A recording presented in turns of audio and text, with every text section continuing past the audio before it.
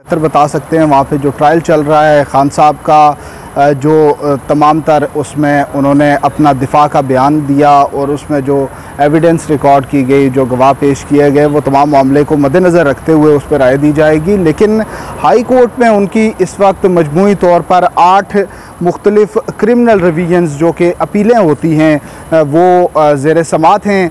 अभी भी उन पर समात हुई और अब अदालत ने उन तमाम अपीलों पर फैसला महफूज कर लिया है। चेयरमैन पीटीआई इमरान खान, मेरा ख्याल आपके चैनल पे तो रिस्ट्रिक्शन नहीं है ना?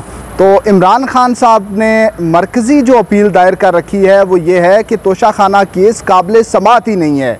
वो कहते हैं, जी, ये दुरुस्त तरीके से दायर नहीं हुआ। उसकी मुख्तलिफ़ तीन चार वजूहत बताते हैं।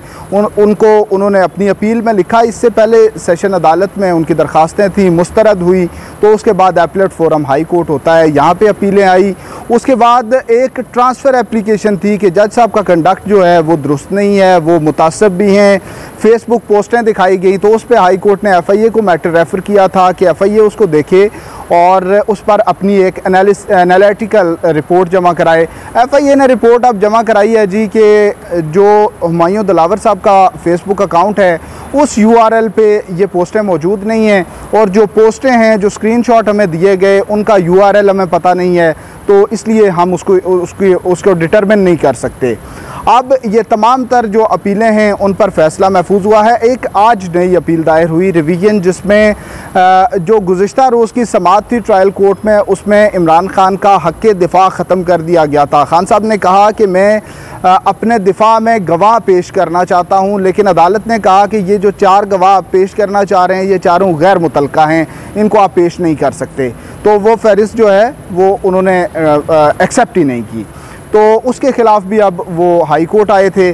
तो हाई कोर्ट अब कल फ़ैसला जारी करेगी। ये फ़ैसला बड़ा अहम होगा और इमरान ख़ान की जो सियासी मुस्तबिल की जो सियासत है, उस पर उसका बड़ा असर होगा, क्योंकि अगर हाई कोर्ट या सुप्रीम कोर्ट से ये ट्रायल अभी रुक जाता है तो वो वकीलों के पास मुख्तलिफ़ तरीके होते हैं प्रोलॉन्ग किया जा सकेगा। अभी भी उन्होंने कोशिशें की हैं, लेकिन वो जज साहब तो उनको सुनने को तैयार ही नहीं है। वो तो जो एप्लीकेशन आती है टेबल पे आती है तो वो साथ ही कहते हैं डिसमिस हो गई है।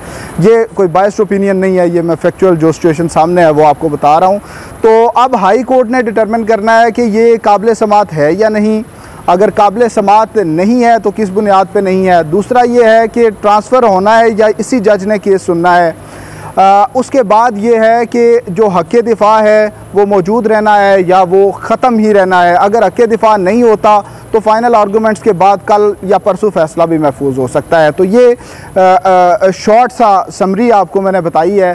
ट्रायल में ये है जी कि इमरान खान साहब पर इलेक्शन कमीशन ने ये एलिगेशन लगाया है कि उन्होंने बतौर वज़ी अजम जो असासे जो जो तहफ़ लिए थे उनमें से जो फ़रोख्त किए उनकी तफसीत भी जमा नहीं कराई दुरुस्त तौर पर, और जो तहाइफ थे, उनकी तफसीत भी दुरुस्त तौर पर जमा नहीं कराई। तो इसलिए उन्होंने अपने असासों में, अपने गोशवारों में गलत बयानी की तो उन, उनके ख़िलाफ़ क्रिमिनल प्रोसीडिंग की जाए।